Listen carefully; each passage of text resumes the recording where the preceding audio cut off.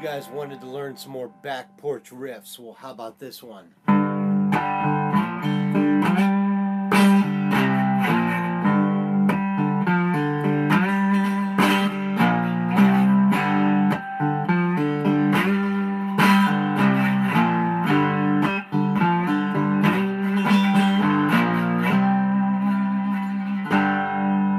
Oh, yeah. Um, if you're wondering, that's not any song I've written yet. I just came up with it this morning, but it just has that back porch grind. Yeah, yeah. So I'm going to teach you how to do that. First and foremost, this video is brought to you by SpealGuitars.com. SpealGuitars.com. That's where you find this one. Acoustic, electric, three string, gorgeous, magnificent uh, Padron cigar box. I still have a few of these in stock. SpealGuitars.com. Yes, it's got the preamp in there, so you can do the classic sound, or you can do the uh, lo-fi tone.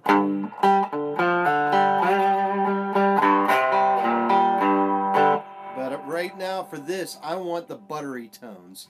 So I dialed up the preamp so that it has full bass, no mid, almost full treble, and no presence. And it's just giving me that.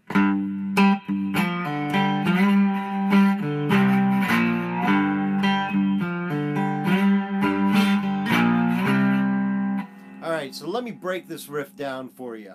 Um, this is another one that once you get it down, you're going to be playing it until you wear a hole through your guitar.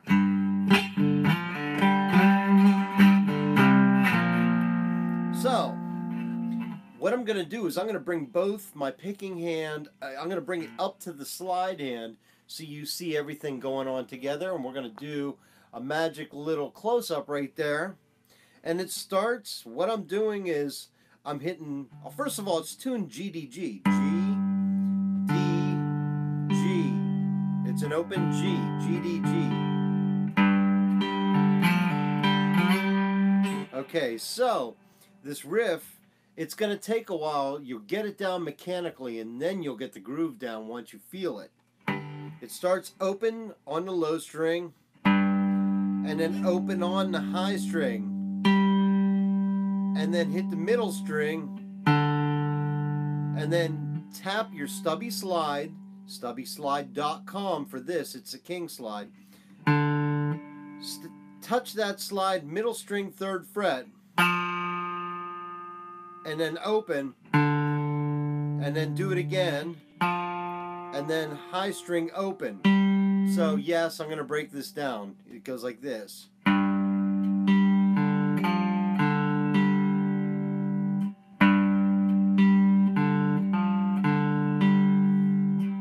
Low open, high open, third string, open, and then third fret, and then back open, and then high string. So that's the first part of it.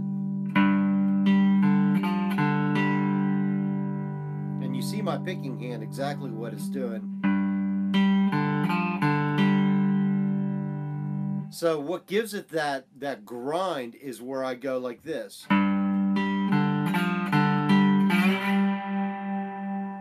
So what I did was I played that riff, but then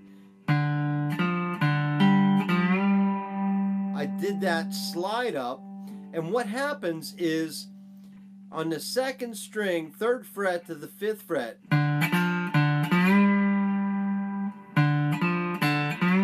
What happens is then it plays, it goes from an F to a G, and it matches the high string.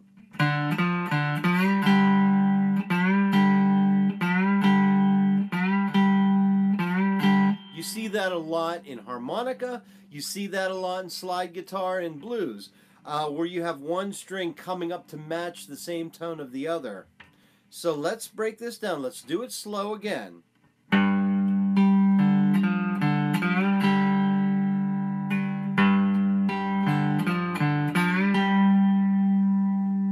And see how whenever I go from the third to the fifth, this stubby slide is only touching that middle string so that high string can ring out without being slid. You don't want to touch it.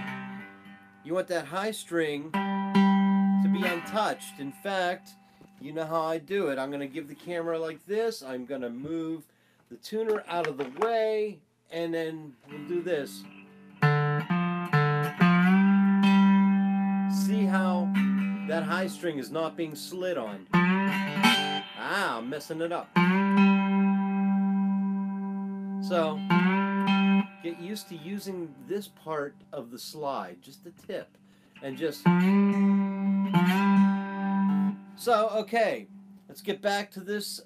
We started out, the first part of the riff is this. We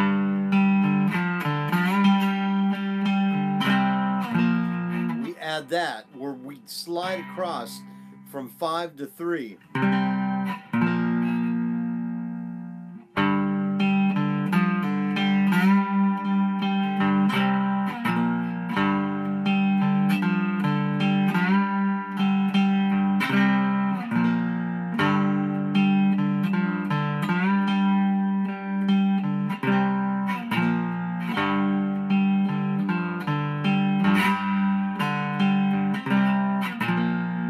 And then the other thing I do is I go.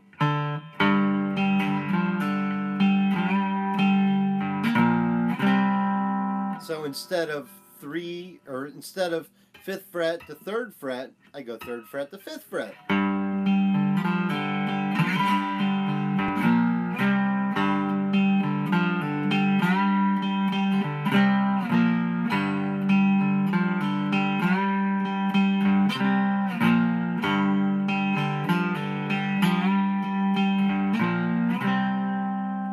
There you go. It's a simple riff, but it's one that's going to give you that back porch grind, or that's what this series is, is back porch grind. I like playing this riff finger style. I'm not going to teach you how to do it because it's tough for me to show. It's kind of a natural thing that I've developed myself.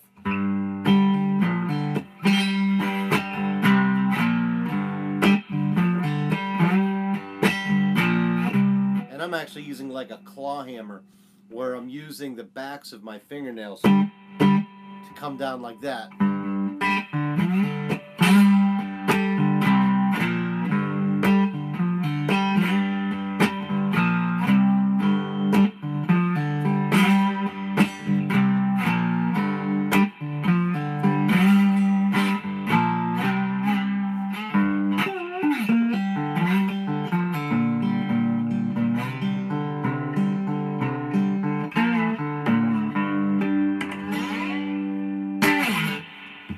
My name's Shane Speal. You guys really got to check this guitar out. SpealGuitars.com has it. SpealGuitars.com. Make sure you subscribe. I'm going to give you more lessons. And of course, yes, on this side is all the other video lessons you can check out as well. My name's Shane Speal. Thank you so much for watching. Leave some comments and thumbs ups. Bye.